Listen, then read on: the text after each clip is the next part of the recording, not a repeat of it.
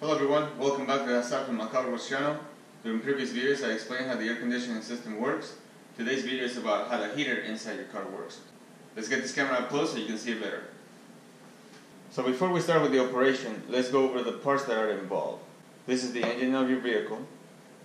It's a radiator. Inside this housing there's a thermostat. It's a water pump. This heater hoses right here. Heater control valve or heater valve heater hoses, heater core, blend doors, blend door actuators, relays, blower resistor, and the heater forward slash AC control module. Blower motor and blower wheel, you know, it's all one piece. So these are the parts that enable you to have heat inside your car when the weather is cold outside. So now that we went over the parts, let's see how it works. When your engine is operating, because it's an internal combustion engine, it generates a lot of heat. Inside the engine itself, there are passages where coolant flows to cool it down so it doesn't overheat. There's a device called a thermostat that's usually mounted on top of an engine, but depending on the design and the type of engine, it could be somewhere else. It's easy to find it because all you have to do is follow the upper radiator hose, and wherever it's located, even if it's on the side, that's going to be the location where you're going to find the thermostat. So what does this thermostat do? It maintains a constant temperature inside the engine.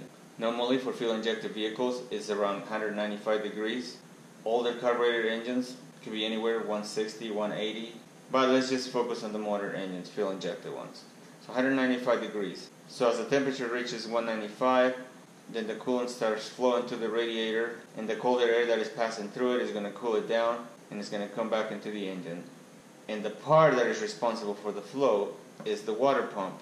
Water pump tends to be belt driven. This is an external water pump right here that you're seeing. It's driven by a serpentine belt that is linked to the crankshaft, alternator, air conditioning, you name it. Now there are some smaller engines that have the water pump inside the timing cover and is driven by the timing belt or timing chain. So if you don't see a water pump on your vehicle and it's an internal combustion engine, you have an internal water pump. They all have it. It has to have a water pump. So now that we know that the coolant flows to the radiator, let's move on to the heater, which is what this video is about. So warm coolant flows and it reaches a heater valve. There are two types of heater valves. One is mechanical, one is electronic. They're both going to be controlled by your heater control module. So what happens is when you switch the temperature, when you move it, it's going to send a signal and it's going to pass through the relay and it's going to enable the coolant to flow so it reaches the heater core. If you look at the heater core, it almost looks like a radiator. It is just a smaller version.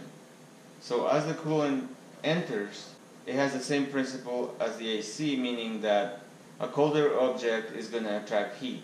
So we're talking about your car is colder, so the heat that is being contained in the heater core is going to enter the car. Now to make this faster, the heater blower spins and forces air through it so more so more heat is transferred from the heater core to your car.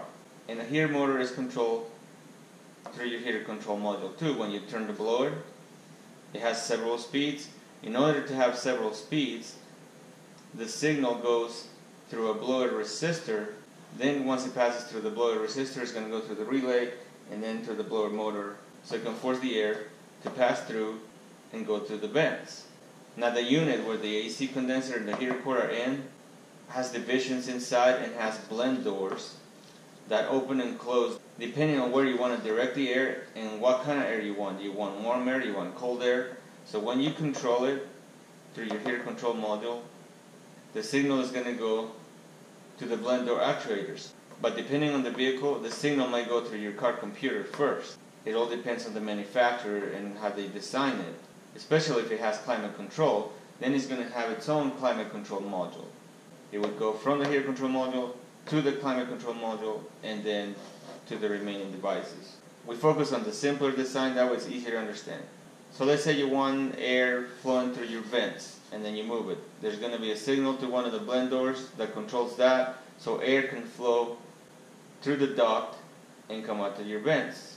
Now if you want your defroster Then the signal is going to go to the blend door that controls it so it can open the door and the air is going to flow through those ducts and defrost your windshield. And as this door opens, this one will close, you know, and so forth. This is controlled by you basically when you're moving the dials in your dashboard. And both units, the radiator and the heater core, are going to disperse heat. This is going to disperse the heat into the atmosphere.